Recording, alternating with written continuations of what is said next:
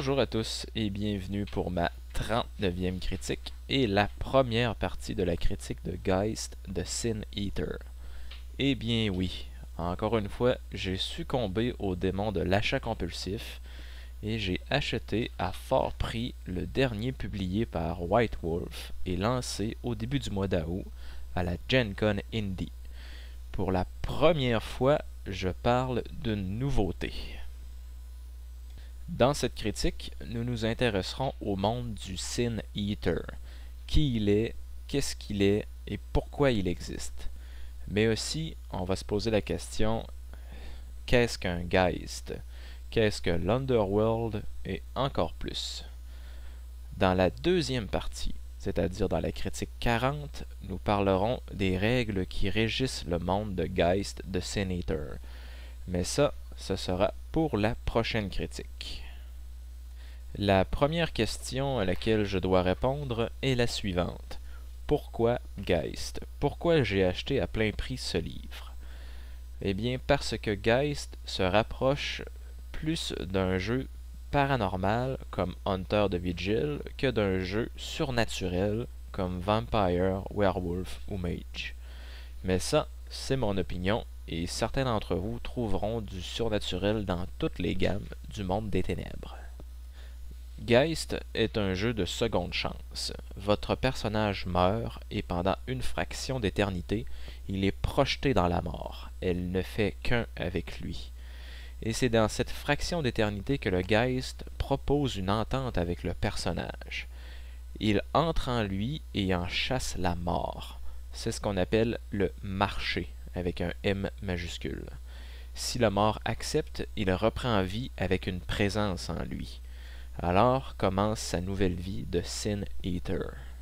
Cette présence a bien entendu son agenda, ses motivations, et tout le défi du maître du jeu et du joueur consiste à faire vivre cette association ou cette opposition. Avant de commencer la description du livre de base, il serait intéressant de savoir ce qu'est un Geist. Tout d'abord, un Geist n'est pas un fantôme comme on peut le lire dans le Book of Spirits. C'est une entité hors de ce cadre. Il est explicitement dit que la nature du Geist est vague pour laisser la place à l'imagination des maîtres et des joueurs pour trouver cette explication. Alors, qu'est-ce qu'un Geist? Une réponse juste serait une parcelle d'âme humaine qui s'est accrochée à la vie pour traverser les portes de l'Underworld et prendre comme hôte un être humain? Que sais-je? Et pourquoi font-ils ça? Soit pour vivre à nouveau des sensations humaines, soit pour terminer un travail, soit qu'ils sont des immortels et qu'ils n'ont rien d'autre à faire, eh bien je n'ai pas trouvé de réponse précise. Désolé. Un sénateur est un geist à l'intérieur de lui, développe assez rapidement de nombreux pouvoirs qui ont trait aux fantômes. Il est capable de voir les fantômes et les fantômes sont capables de le voir et de lui parler. Ce phénomène s'accompagne de nombreux problèmes. Le premier est que sa vie devient vite invivable quand tous les morts lui demandent des services. En faisant les jeux nécessaires, un sénateur est capable d'ignorer la présence des fantômes. Et il se doit de le faire car sa santé mentale en dépend. Outre ce pouvoir, la connexion du Geist avec l'Underworld est telle que le sénateur est capable de déterminer l'âge de n'importe qui la cause de, la mort d'une personne juste en la touchant. Nous verrons ces détails sur les pouvoirs du sénateur dans la critique numéro 40. Pour ceux qui ont lu l'excellent livre Second Sight ou encore le Book of Spirits, un sénateur se rapproche énormément d'un médium qui communique avec le monde des esprits. Les similarités sont très grandes, mais c'est dans le processus que tout diffère. Le sénateur détient ses pouvoirs de son Geist et ce ne sont pas des pouvoirs psychiques. Il a un lien très fort avec l'Underworld, le lieu où les âmes vont quand elles sont libérées de leur emprise physique. Il est capable de s'y rendre et d'en revenir, mais chaque voyage est très dangereux.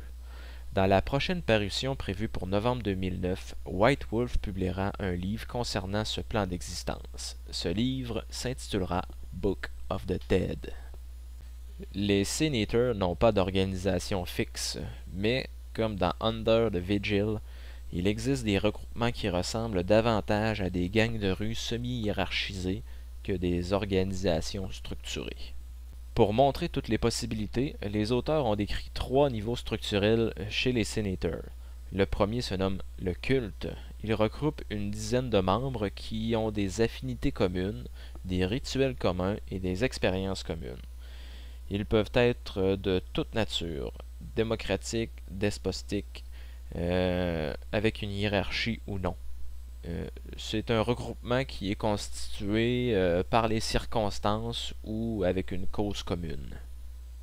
Le deuxième niveau est un regroupement de plusieurs sectes sous une même direction politique.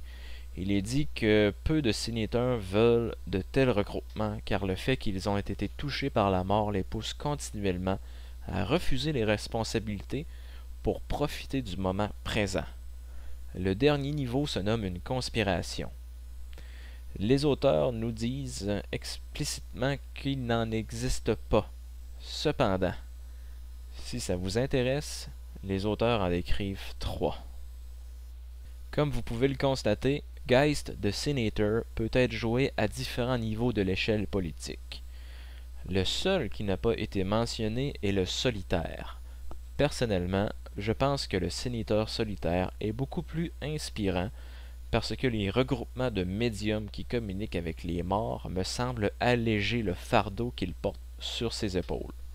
De plus, l'univers du monde des ténèbres permet une hybridation des gammes et il serait vraiment dommage pour un maître du jeu de passer à côté de la possibilité d'intégrer plusieurs types de personnages à sa campagne.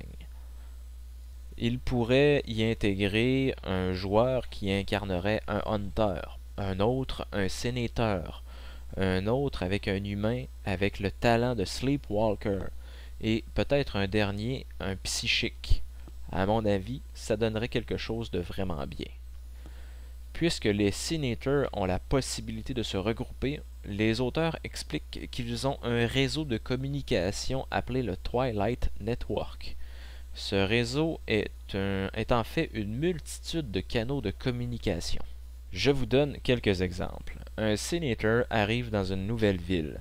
Il fait publier un faux avis de décès dans la rubrique nécrologique du journal local avec un message codé. Ce message peut demander à rencontrer d'autres comme lui ou encore avertir les autres sénateurs de la présence d'un fantôme intraitable dans, le sous-sol d'une école, par exemple.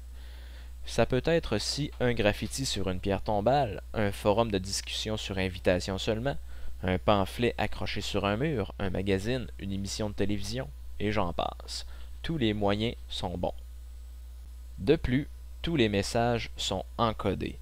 Personne en dehors d'un fanatique de la théorie de la conspiration ne viendrait à bout de comprendre ce qui est dit dans ces messages. Mais la question qu'il faut se poser est la suivante. Pourquoi tant de secrets? Ce n'est pas dans la nature d'une organisation secrète de rester secrète. En tout cas, c'est la seule réponse que je peux donner. Autre question. Comment un sénateur peut connaître tous ces codes et les décrypter? Les auteurs proposent une explication très simple. Un Geist transmet un certain nombre de connaissances à son hôte lors du marché entre eux. C'est simple, mais probable. Comme vous pouvez le constater, j'ai mentionné pas mal de détails concernant la nature du Geist et du Sénateur, mais ça nous renseigne toujours pas sur ce que fait précisément un Sénateur avec ses pouvoirs. Eh bien, un Sénateur est un personnage qui est spécialisé dans le domaine des fantômes.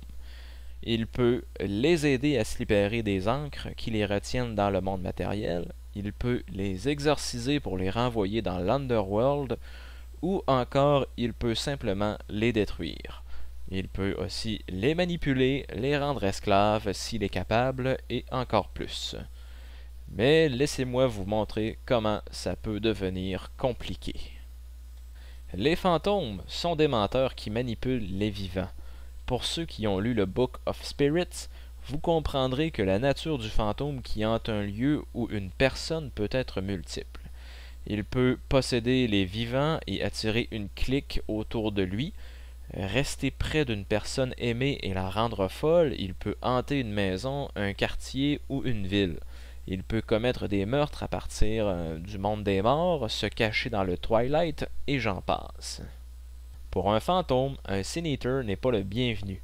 Il mentira, se cachera, mais fera tout en son pouvoir pour ne pas quitter le monde matériel. Il pourrait par exemple lancer ses suivants humains à la poursuite des Sénateurs et même utiliser son Numina pour les attaquer. Je crois que vous avez compris le principe. Certains fantômes sont plus tordus que d'autres, et les possibilités d'aventure sont multiples. Tout ce qu'il faut, c'est de décloisonner l'idée que vous avez du fantôme et alors vous êtes prêt pour une belle balade. En plus des fantômes, il est très possible qu'un sénateur s'oppose à d'autres sénateurs. Il est aussi très possible qu'un sénateur s'oppose à un mage qui a développé l'arcane mort avec assez d'efficacité pour qu'il manipule les fantômes et les retienne prisonniers dans son pouvoir. Et imaginez ce que l'on peut faire avec les vampires ou encore les loups-garous. Eh bien, c'était ma 39e critique. J'espère que vous avez apprécié. D'ici euh, une ou deux semaines, je serai en mesure de publier la deuxième partie de la critique de Geist de Senator. Eh bien, merci de m'avoir écouté et à la prochaine.